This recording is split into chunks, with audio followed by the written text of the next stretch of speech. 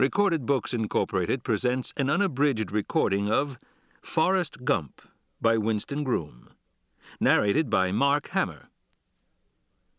This work, copyrighted 1986 by Perch Creek Realty and Investments Corporation, is recorded by arrangement with Simon and Schuster Audio Incorporated.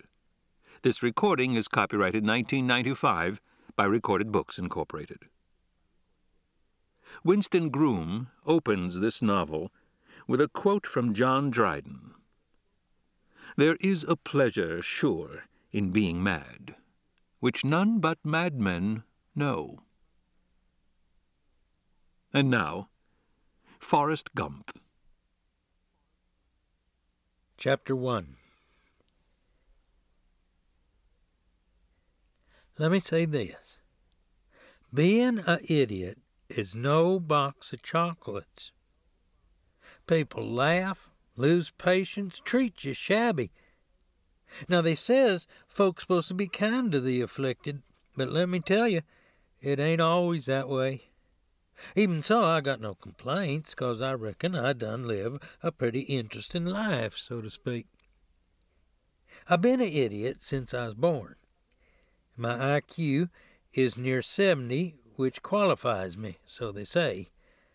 Probably, though, I'm closer to being an imbecile, or maybe even a moron, but personally, I'd rather think of myself as like a half-wit or something, and not no idiot. Because when people think of an idiot, more than likely they'd be thinking of one of them Mongolian idiots, the ones with their eyes too close together, what look like Chinamen and drool a lot and play with theyselves. Now I'm slow, I grant you that. But I'm probably a lot brighter than folks think, 'cause what goes on in my mind is a sight different than what folks see.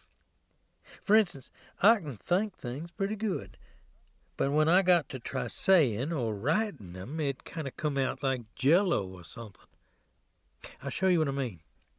The other day, I'm walking down the street, and this man was out working in his yard. He'd got himself a bunch of shrubs to plant, and he says to me, Forrest, you want to earn some money? And I says, uh-huh. And so he sets me to moving dirt. Damn near ten or twelve wheelbarrows of dirt in the heat of the day, trucking it all over creation. When I'm through, he reach in his pocket for a dollar. What I should have done was raise Cain about the low wages, but instead I took the damn dollar and all I could say was thanks or something dumb sounding like that, and I went on down the street, wadding and unwadding that dollar in my hand, feeling like a idiot. You see what I mean? Now I know something about idiots. Probably the only thing I do know about, but I done read up on 'em. All the way from that Dostoevsky guy's idiot to King Lear's fool and Faulkner's idiot Benjy and even old Boo Radley in To Kill a Mockingbird. Now he was a serious idiot. The one I like best, though, is old Lenny in Of Mice and Men. Most of them writer fellas got it straight, 'cause they're idiots always smarter than people give 'em credit for. Hell, I'd agree with that. Any idiot would. Hey, hey. When I was born, my mama named me Forrest, 'cause of General Nathan Bedford Forrest, who fought in the Civil War. Mama always said we was kin to General Forrest's family some ways. And he is a great man, she'd say, exceptin' he started up the Ku Klux Klan after the war was over, and even my grandmama say they's a bunch of no-goods.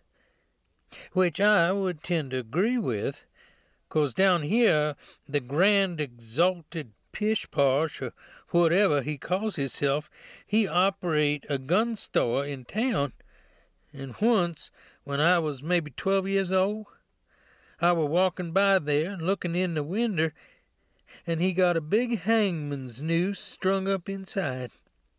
When he seen me watching, he done throwed it around his own neck and jerked it up like he is hanged, and let his tongue stick out and all so's to scare me. I done run off and hid in a parking lot behind some cars till somebody called the police and they come and take me home to my mama. So whatever else old General Forrest done, starting up that Klan thing was not a good idea. Any idiot could tell you that. Nonetheless, that's how I got my name. My mama is a real fine person. Everybody says that. My daddy, he got killed just after I was born, so I never known him. He worked down to the docks as a longshoreman, and one day a crane was taking a big net load of bananas off one of them United Fruit Company boats, and something broke, and the bananas fell down on my daddy and squashed him flat as a pancake. One time I heard some men talking about the accident. Say it was a hell of a mess. Half ton of all them bananas and my daddy squished underneath. I don't care for bananas much myself, except for banana pudding. I like that all right. My mama got a little pension from the United Fruit people, and she took in boarders at our house, so we got by okay. When I was little, she kept me inside a lot so's the other kids wouldn't bother me. In the summer afternoons, when it was real hot, she used to put me down in the parlor and pull the shades so it was dark and cool and fix me a pitcher of limeade.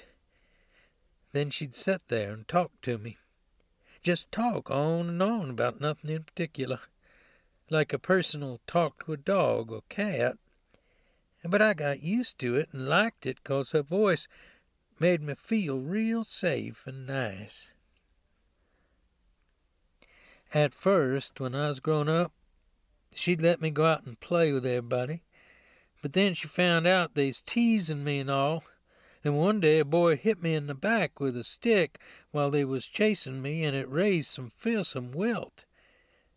After that, she told me not to play with them boys any more. I started trying to play with the girls, but that weren't much better, 'cause they all run away from me. Mama thought it'd be good for me to go to the public school, 'cause maybe it would help me to be like everybody else. But after I'd been there a little while, they come and told Mama I oughtn't to be in there with everybody else. And they let me finish out first grade, though. Sometimes I'd sit there while the teacher was talking, and I don't know what was going on in my mind, but I'd start looking out the window at the birds and squirrels and things that was climbing and setting in a big old oak tree outside. And then the teacher'd come over and fuss at me. Sometimes I'd just get this real strange thing come over me and start shouting and all. And then she'd make me go out and sit on a bench in the hall. And the other kids, they'd never play with me or nothing, excepting to chase me or get me to start hollering so's they could laugh at me. All except Jenny Curran, who at least didn't run away from me, and sometimes she'd let me walk next to her going home after class. But the next year, they put me in another sort of school, and let me tell you, it was weird. It was like they'd gone round collecting all the funny fellers they could find and put 'em all together, ranging from my age and younger to big old boys about sixteen or seventeen. They was retards of all kinds and spasmos and kids that couldn't even eat or go to the toilet by themselves. I was probably the best of the lot. They was one big fat boy, must have been fourteen or so, and he is afflicted with some kind of thing made him shake like he's in an electric chair or something. Miss Margaret, our teacher, made me go in the bathroom with him when he had to go, so's he wouldn't do nothing weird. He done it anyway, though. I didn't know no way of stopping him. So I just lock myself in one of the stalls and stay there till he's through and walk him back to the class. I stayed in that school for about five or six years. It wasn't all bad, though. They let us paint with our fingers and make little things. But mostly it was just teaching us how to do stuff like tie up our shoes and not slobber food or get wild and yell and holler and throw shit around. They want no book learning to speak of, except to show us how to read street signs and things like the difference between the men's and the ladies' rooms. With all them serious nuts in there, it would have been impossible. We hope you enjoyed this preview. To continue listening to this audiobook on Google Play Books, use the link in the video description.